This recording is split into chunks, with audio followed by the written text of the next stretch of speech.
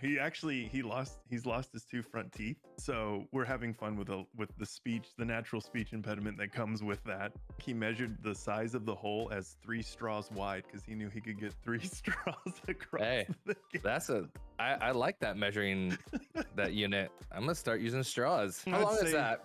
About 50 straws. Yeah,